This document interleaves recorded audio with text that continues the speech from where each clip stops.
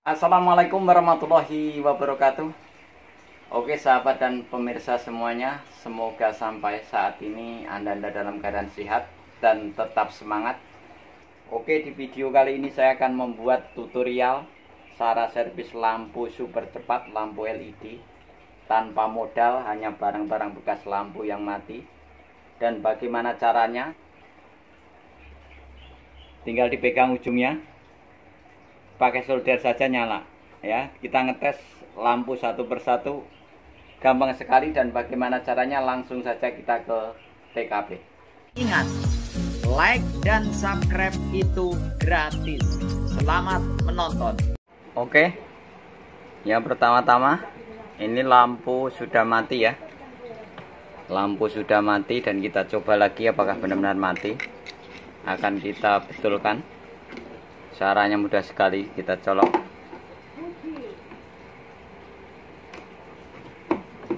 Bisa dilihat tidak hidup sama sekali. Ya karena ini lampu kemungkinan ada yang putus kita cek. Cuma pakai solder nantinya. Kita cabut dulu. Ini yang mati. Dan ini yang hidup ini yang hidup kita coba.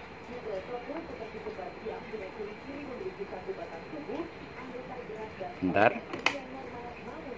Ini hidup. Ya terang. Lumayan.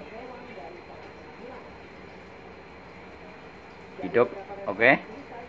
Kita cabut dulu. Dan kita copot dulu. Ini akan kita tes pakai solder yang hidup ini yang hidup cara ngetes ini mati apa enggaknya cuma pakai tangan ya. Ini tangan paling ujung disentuh. Dan ini solder yang sudah panas kita tes. Ini nyala. Walaupun tidak seterang ini nyala untuk ngetes ya. Nyala. Nyala semua. Oke. Ini tadi yang hidup ya yang masih normal. Kita tutup kembali.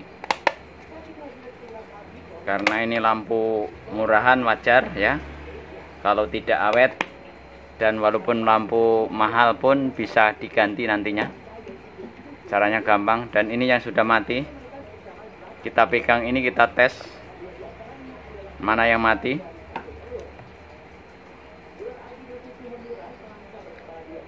Nyala ya bisa dilihat nyala walaupun redup nyala. Nyala. Nyala kita matikan dulu lampunya. Lampunya kita matikan dulu biar kelihatan. Ya nyala. Nyala. Nyala. Nyala. Nyala. Nyala. Nyala. Nyala. Nyala.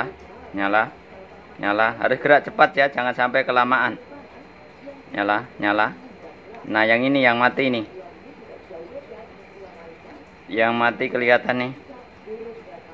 Ini yang mati kelihatan nih. Ada titik hitamnya bekas kebakar dan hanya satu kita ganti. Kita nyalakan dulu lampunya biar terang ya. Ini yang mati bisa dilihat. Ada item-itemnya ini dan kita ganti pakai yang bekas ya. Anggap saja ini bekas karena nggak ada bekas. Karena lampu saya awet-awet semua. Karena kasih kapasitor jadi awet. Dan ini caranya di mana ambil salah satu saja. Misalnya nih lampu sudah rusak ya. Kita tes dulu misalnya kita tes ya. Ada yang hidup. Kita tes nyala misalnya ini ya. Ini hidup semua kita ambil salah satu saja kalau di kupas pakai cutter ini rusak caranya begini. Tinggal digunting ya. Digunting diambil segini. Disisain dikit. Nah begini.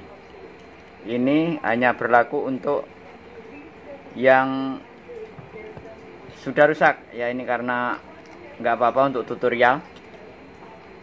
Demi anda-anda sekalian di cutter potong cutter. Jadi ini masih nempel di PCB kita cutter saja langsung kita potekin. Kita cutter begini. Jadi MCB nya jangan sampai lepas nih. Kalau dicongkel gini langsung rusak. Ini lampu SMD ya. Lim-limannya kuat.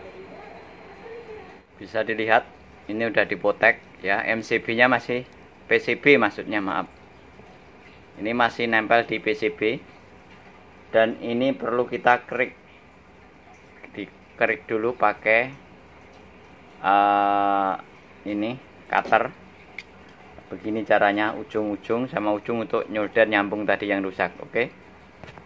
bisa dilihat ini dikerik pakai cutter ya pisau cutter. Untuk nempel ya Jika kalau dikupas gini pasti rusak karena ini SMD ya ini dari bekas lampu anggap saja dari bekas lampu yang sudah rusak yang sudah mati tapi tidak mati semua lampunya jarang ya yang masih hidup. Dan kita tadi ini yang rusak. Kita congkel dulu ini satu saja yang rusak tadi. Kita buang dulu pakai cutter ya satu saja ini sudah kita buang kita krik di sini untuk nyolder tadi sama sini. Karena ini pemasangan semua lampu di seri. Kalau mati satu pasti mati semua. Kita taruh di sini.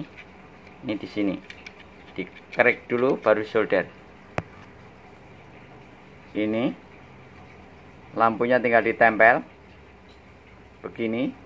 Baru kita antar solder sini sama sini di lampunya yang tadi copotan tadi yang sama PCB ya ini masih sama PCB nya ini tanpa modal. Ya anggap saja ini bekas lampu ya yang rusak. Jadi kalau matinya satu apa dua diganti saja begini. Oke kita lanjutkan.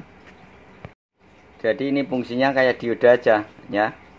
Yang ini baretnya kecil ini gede. Dan ini kecil ini gede lagi karena di seri ya. Ini gede yang lebar baretnya ini. Kita sambung yang ke ini dapatnya baret yang kecil. Begini jadi pas. Kecil dulu gede baru baret kecil lagi baret gede lagi. Oke kita langsung solder. Sekarang tinggal proses penyolderan. Saya solder dulu yang sebelah. Dan ini sebelah di solder dulu. Nanti biar lengket. Oke kita lanjutkan. Oke bisa dilihat jadi ini nyoldernya ditumpangin ya jangan sampai kebalik. Kalau ini baretnya kecil ini gede ini dari gede ke kecil lagi gede lagi karena di seri ya seperti dioda. Oke? Sekarang kita matikan lampu kita tes pakai solder. Apakah nyala semua? Bentar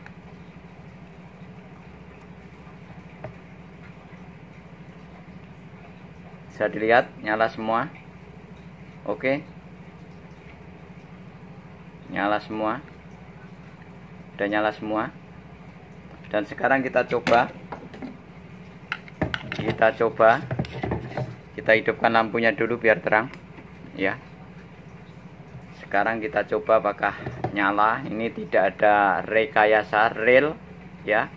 Kami hanya membantu anda-anda semua cara servis yang cepat ya tinggal dipotong di sekalian PCB nya dan kita coba apakah hidup.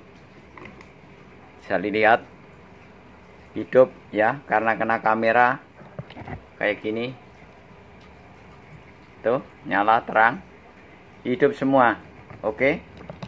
Dan kita pakai tutup. Bisa dilihat.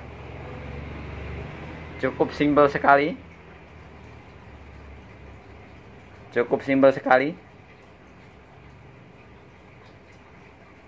Ini. Langsung dicolok terang. Nyala. Ya. Kita cabut. Jadi intinya tadi dari bekas lampu yang murahan boleh yang rusak ya. Ini karena lampu saya awet-awet tidak ada yang rusak karena pakai kapasitor di seri ya. Ini saya korbankan untuk anda-anda sekalian jadi biar anda paham. Jadi ini anggaplah ini bekas lampu murahan yang sudah jebol. Dipastikan masih ada lampu yang ini hidup. Kita potong pakai gunting tadi. Sisi begini sisi begini sama PCB nya terus dikerik dikerik terus ditumpangin tadi.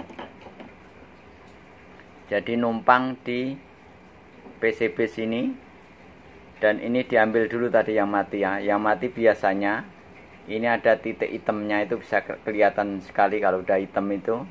Tengah ini udah mati. Karena di seri kalau mati satu atau dua dipastikan lampu ini paeh atau mati. Dan untuk lampu apa saja bisa ya. Mau yang bermerek Philip mau yang apa ya misalnya ini merek Philip misalnya. Jadi kalau ini masih hidup semua ya. Cara ngetesnya juga sama tadi. Ini lampu yang mahal. Tinggal begini saja tuh. Sebentar. Kita matikan lampunya biar ketahuan.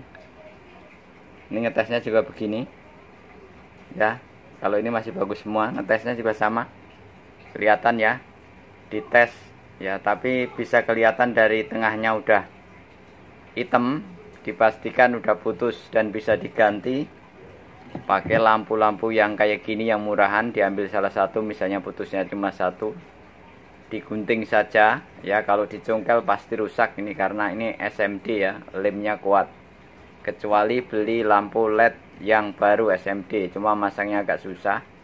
Makanya saya kasih gampang tinggal dipotong PCB nya segini seukuran ini terus dikerik tadi oke? Sekarang kita hidupkan lagi. Oke kita tutup kembali. Kalau ini bilip masih bagus. Jadi begitu kesimpulannya tadi. Kesimpulannya tanpa modal bisa servis ya. Bekas-bekas lampu yang rusak jangan dibuang ya dimanfaatkan cara servisnya cuma begini kalau mesinnya itu jarang rusak ya. Rata-rata rusak di lampunya. Nah, karena lampunya ini di seri karena umurnya sudah lama kalau putus satu semua pasti mati karena di seri oke? Itu saja dan ini untuk kuatnya. Terakhir kita tetesin lem power ya. Tapi jangan kebalik ya kalau kebalik nggak hidup nantinya dibalik lagi ya jadi posisinya di seri ya. Kalau nanti misalnya ini masang lampunya kebalik dicoba nggak hidup dibalik saja oke? Terakhir kita tetesin lem power glue biar ini nggak lepas kalau kena panas. Seperti SMD yang ini ini juga ada lemnya kuat. Oke kita tetesin dulu. Tidak ada unsur rekayasa ini real hanya untuk membantu pada saudara-saudara pada kawan-kawan kita yang pengen kreatif ya lampu yang rusak dikumpulin di kanibal diambil saja yang bisa. Ini dilem tetesin aja udah kuat ya. Intinya kalau kena panas biar tidak copot ya. Karena yang lain juga pakai lem. Begini saja kita tutup kita tutup. Kita singkirkan solder dulu cukup dengan solder tadi.